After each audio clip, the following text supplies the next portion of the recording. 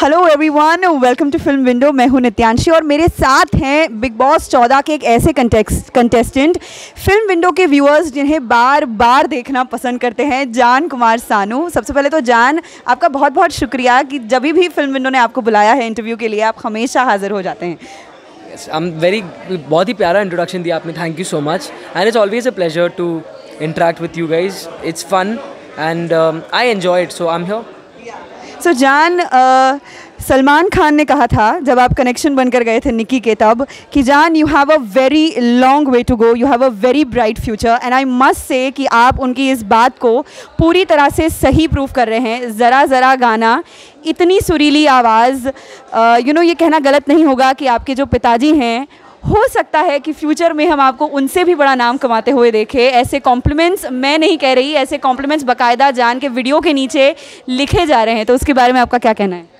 आई मैं ऐसे compliments comments पढ़कर मैं सिर्फ़ अपने हाथ जोड़कर सबको थैंक यू बोलना चाहूँगा कि इतनी बड़ी बात आप लोग मेरे लिए कह रहे हैं। मैं बहुत छोटा हूँ। ऑनेस्टली मैं दिल से गाता हूँ, मैं जो भी करता हूँ, दिल से ही करता हूँ। एंड ये बात आप तक पहुँचती है, यही मेरे लिए बहुत बड़ी बात है। So I am very grateful I am thankful and honestly I hope कि ये सच भी हो because I think it will be a very big thing for me and for my mom and for my dad if you know I go ahead and I make and carry his legacy so I am very grateful thank you so much you know parents हमेशा अपने बच्चों के काम के लिए बहुत critical होते हैं।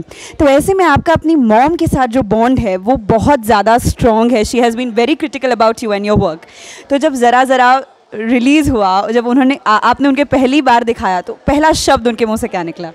सो so, ये गाना मैंने खुद ही बनाया है। आप प्रोग्राम डिट माई सेल्फ एंड घर पे ही मैंने रिकॉर्ड किया है। एंड um, मेरी मॉम ने जब इसका फ़र्स्ट रफ वर्जन सुना था my mom decided that time only she just told me one thing she told me this song is a hit you need to make a music video and you need to release this because the people deserve this and it's gonna change your life so my mom is my first critic my first जज and अगर मैं performances के time mom के मुँह पे अगर जब तक मैं हँसी नहीं देखता, मुझे पता है कि मैं नहीं गा रहा अच्छा या मैं कुछ गड़बड़ कर रहा हूँ।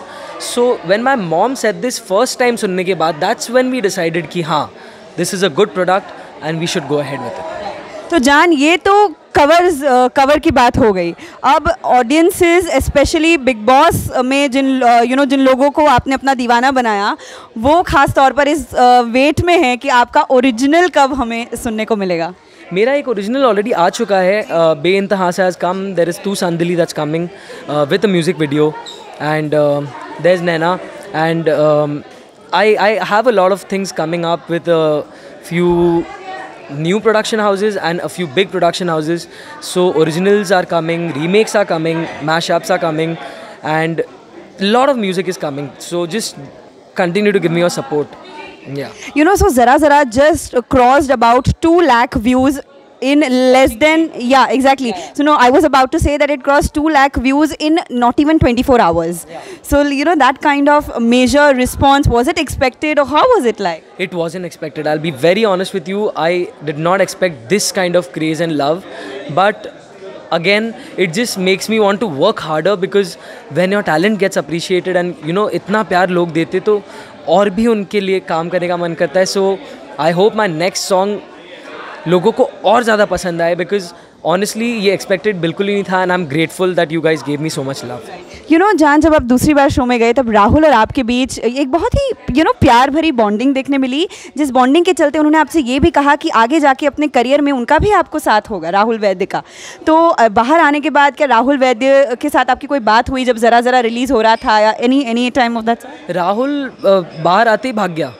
हाँ यार वो बाहर आते ही भाग गया वो दिशा के साथ you know he went on a vacation but he is back today so i'm going to get in touch with him and uh, yeah i love rahul he's a very very talented amazingly talented singer he's a very good singer very good artist and um, it it it always feels good to talk music with a fellow musician and a fellow artist so आगे चल के राहुल के साथ बहुत बातें भी करनी है बहुत टाइम भी स्पेंड करना है एंड बहुत कुछ सीखना भी है राहुल से यू नो सो लास्टली और at this grand reunion of Bigg Boss 14 मतलब अभी अभी तो बिग बॉस चौदह खत्म हुआ था और एक हफ़्ते के अंदर रीयूनियन हुआ है। और वो भी राखी ने ऑर्गेनाइज किया है और आप इतको, आपको इतनी अप्रिसिएशन मिली है आज।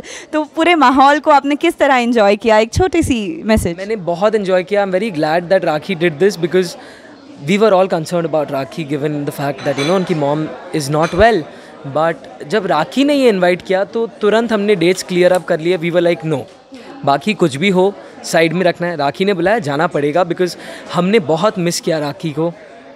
एंड आज आपने देखा होगा राखी वापस राखी बन गई। सो so, वो देखकर मुझे बहुत खुशी हुई कि you know she is happy she is stress free and I am very glad that I got to meet Rakhi I got to meet everyone good reunion and इसके बाद एक और रियूनियन में जा रहा हूँ uh, जिसके बारे में आपको कल पता चलेगा। इट्स uh, मैं आपको बता दूँ कि ये हमें कल लाइव पर इसकी पूरी अपडेट मिल गई थी और जो छानबीन है पूरे मीडिया की वो कल शाम से शुरू है कि भाई ये क्या खुफिया पार्टी है क्या क्या होने वाला है। Um, इसके बारे में आई थिंक आप होस्ट से पूछेंगे तो बेटर होगा। The host is Rahul Mahajan and he is kept dinner in his house so इसके बाद हम वही भागेंगे एंड um, या जो भी होगा वो आपको कल पता चल जाएगा आई गेस जहाँ बिल्कुल सो चलिए आई होप दैट आप लोग जिस तरह से यहाँ इन्जॉय किया है इतना मज़ा आया है आपको अपनी पार्टी में भी मज़ा आए। And thank you so much Jaan for once again joining with Film Window it was a pleasure having you is a pleasure to be thank you so much for having me thank you so much guys keep watching Film Window मैं हूँ नित्यांशी।